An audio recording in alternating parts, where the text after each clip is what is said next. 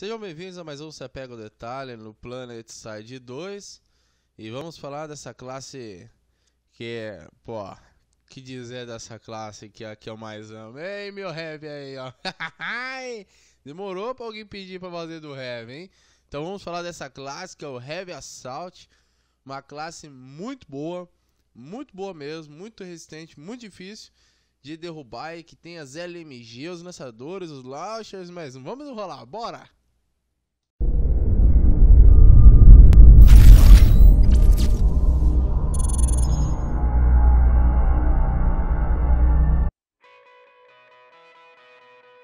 Heavy se divide em duas classes, que é o vou meter um foguete na sua cara, ou se não vou chegar quebrando tudo. O Heavy Assault, cara, ele é uma classe muito legal. É, ele não tem divisões igual as outras, as outras classes têm, não tem divisões diferentes, ele é bastante simples, ele é uma classe que chega dando dano massivo. Isso vai se refletir nas suas armas, suas habilidades. Então, vamos explicar aqui. Ah, o Heavy Assault ele possui uma, uma das armas, uma linha de armas que é exclusiva dele, que são as LMGs. E ele também pode controlar as Heavy Guns, que são algumas armas é, especiais do jogo, ok? No caso aqui das LMGs, cada LMG tem a sua, a sua característica aqui no, no Terra em Republic. Essa T16 é uma das armas que custa 650 é, points e é uma das melhores armas, é uma das melhores LMGs, muito boa. Você, ela tem 100 munições, com extend magazine vai para 200, então é uma arma que tem uma grande quantidade de munição. A diferença das LMGs é o tempo de recarga dele que é bem alto e a dificuldade que você vai ter de disparar em hipfire, que seria sem você clicar o botão direito para mirar. Mas são armas que são é, que tem uma grande eficiência num personagem como esse, dentro da dentro da estrutura que é esse personagem, dentro das habilidades dele. E é isso, as Heavy Guns são essas armas especiais que o jogo disponibilizou para cada uma das facções. No caso dos Terra em Repúblicas é uma, é uma minigun, o nome dela é T7 Mini Chai Gun. E é uma arma bastante interessante, ela tem um disparo bem rápido, uma velocidade de disparo bem rápido com um dano bastante considerável e tem 100 munições e biriri bororó é uma arma muito boa, bem legal de se jogar. O problema dela é o início de disparo, é um pouco lento, mas depois ela fica absurdamente apelona e tal. Além disso, o Heavy Assault ele também você pode equipar ele com shotguns, faz um pouco a postura dele. Porém, se você quer ter realmente uma postura bem legal de Heavy Assault, você vai jogar de LMG.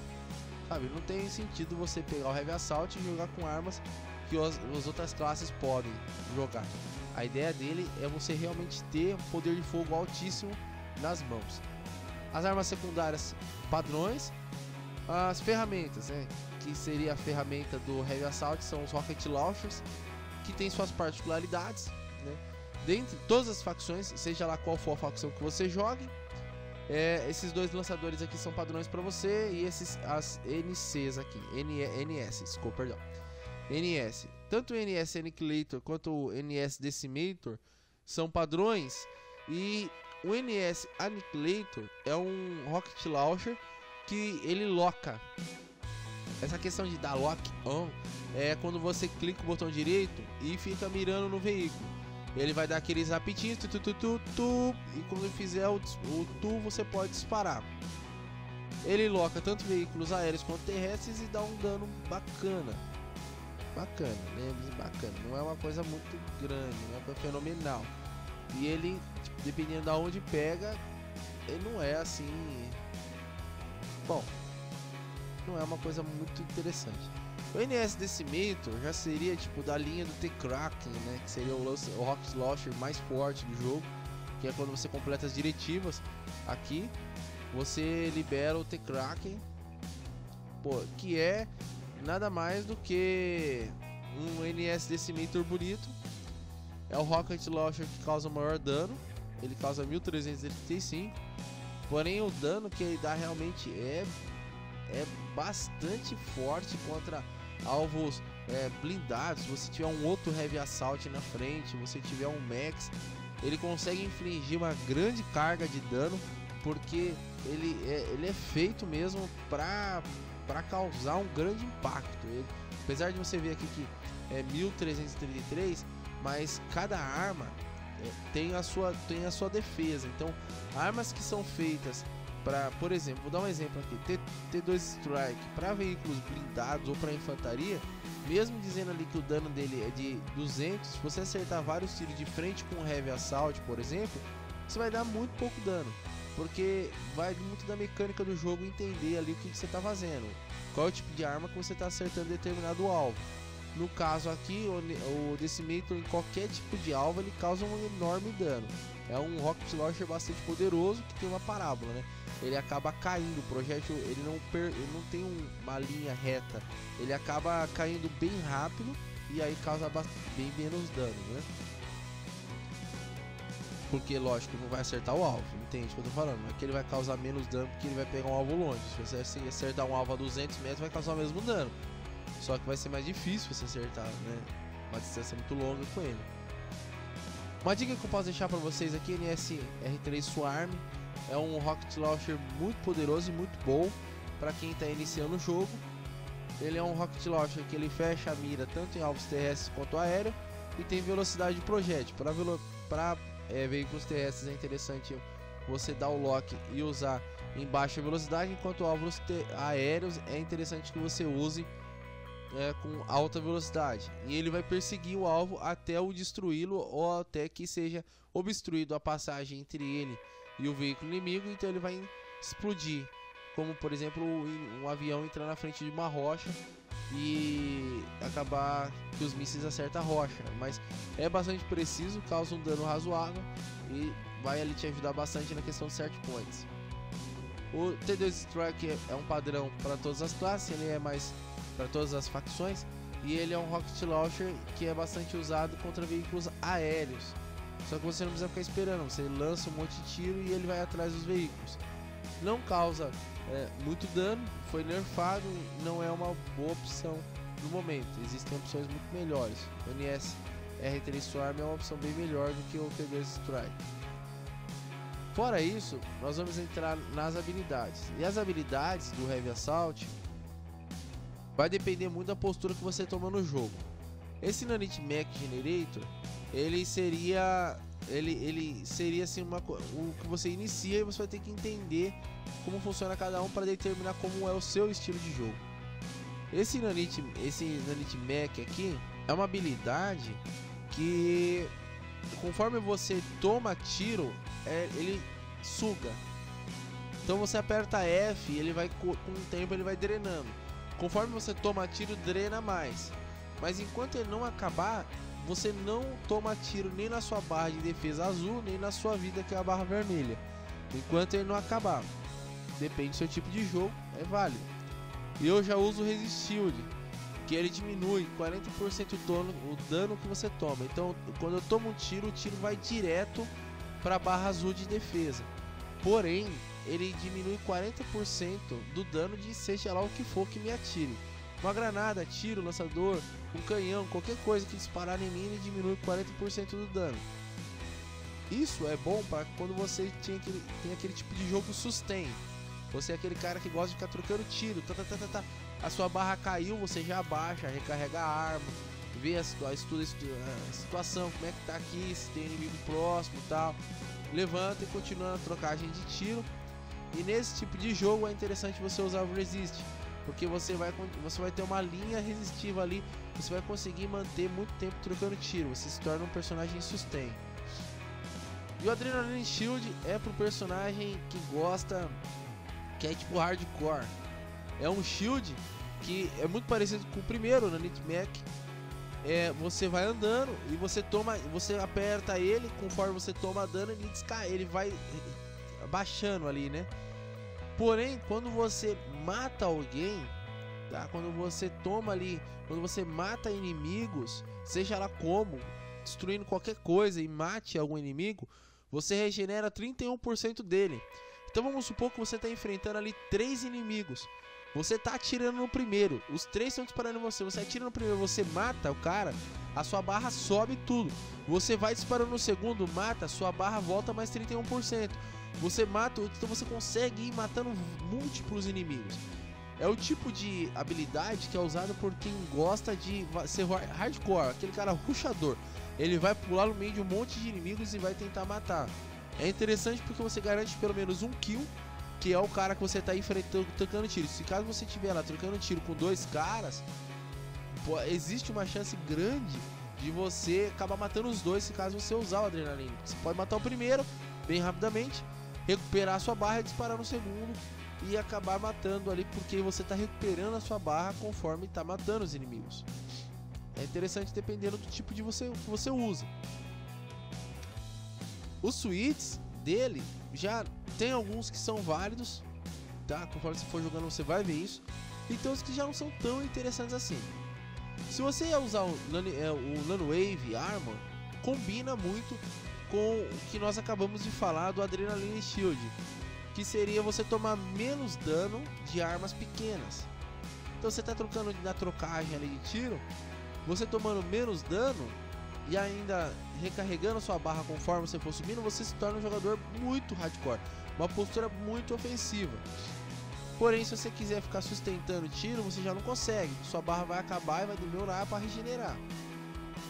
Uh, o Advanced Shield, para mim, no meu tipo sustain, é o mais interessante. A minha barra acaba, eu abaixo, me escondo, recarrego minha arma, dou uma verificada na situação Enquanto isso, meu escudo, depois de 4 segundos que eu tiver nessa parte de recarregando tal, ele recupera minha barra. Cabe na situação, é útil. Você vai se tornar sustain. Outros aqui, é, como por exemplo, carregar mais granadas, carregar mais rockets para o seu rocket launcher, é, carregar mais munição para você andar, vai depender muito do que você, da sua proposta de jogo. Não combina muito com o Heavy Assault em si. Acho que são mais opções para existir do que para se escolher. É, é, legal ter várias opções, mas as que você vai usar mesmo são sempre as mesmas. As granadas, cara, as granadas são extremamente importantes no Heavy Assault. A Concussive Grenade é o tipo de granada usada pelo cara hardcore. Se você for atacar ofensivamente usando Adrenaline e o Nano Wave, para ter um ataque ali bem forte e conseguir ficar vivo durante aquele período, é interessante que você tenha um concurso grenade, que seria uma granada que deixa todo mundo desorientado dentro de um período de tempo que eu acredito que é muito roubado, é um tempo muito grande. Se o cara jogar, entrar no ambiente, tiver cinco alvos, ele mata todo mundo antes que o, o último lá consiga enxergar ele. É uma granada muito roubada, deixa todo mundo desorientado, tipo um flashbang de outros FPS. O anti-veículo grenade é uma granada que causa bastante dano em mechs, em veículos, já não causa tanto dano assim. Mas é eficiente e ajuda você a destruir se caso for necessário. E o Fire Grenade é o tipo de granada que você vai usar. É, não, não, acho que seja muito válido no Heavy Assault, depois que você libera concurso e anti-veículo, porque no caso de você ser ofensivo, você vai usar o concurso para deixar todo mundo desorientado enquanto você mata eles. Então joga uma granada para causar um, um, dano mínimo. Você pode simplesmente puxar o seu Rocket Launcher e mandar uma granada na cara deles. Não sei. Vai depender do seu tipo de jogo. O C4 não é um tipo de arma que você combina muito com o Heavy Assault. O C4 seria mais para um assalto, um light assault que tem possibilidade de voar por sobre os inimigos. Jogar o C4, sair correndo e pá. O Heavy Assault não tem mobilidade para isso não acho válido. Pode ser que você ache, não sei.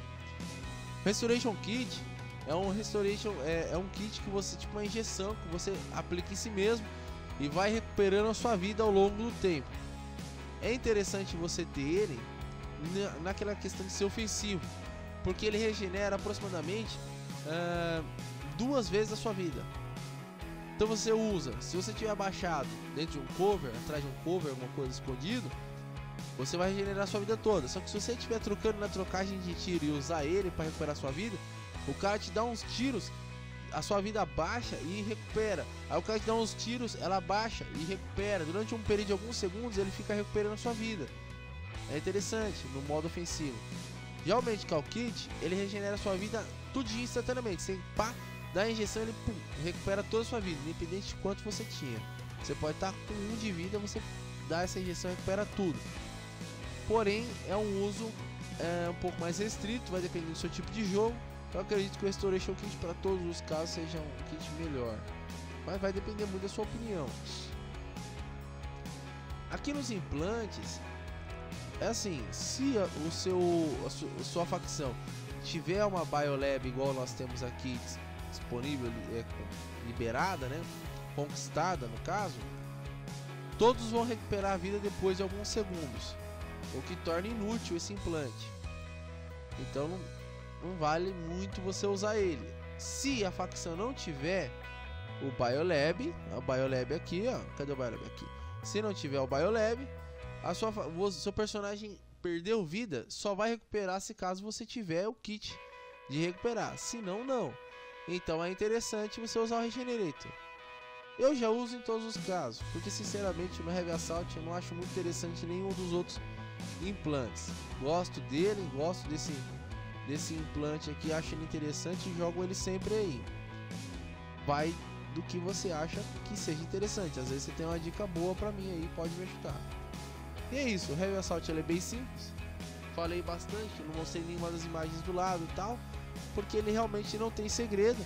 Ele é bem simples. Se caso você é novo no jogo, você já deve ter visto tudo isso que eu falei. Mas vai levar de brinde aí algumas dicas interessantes sobre Rocket Launchers e tal. Então fiquem com Deus, espero ter ajudado vocês. Se inscrevam no canal. Um grande abraço e muito obrigado ao nosso inscrito que solicitou esse vídeo. Muito obrigado. Tava querendo muito fazer, mas tava esperando alguém pedir. Falou, fique com Deus, excelente jogo.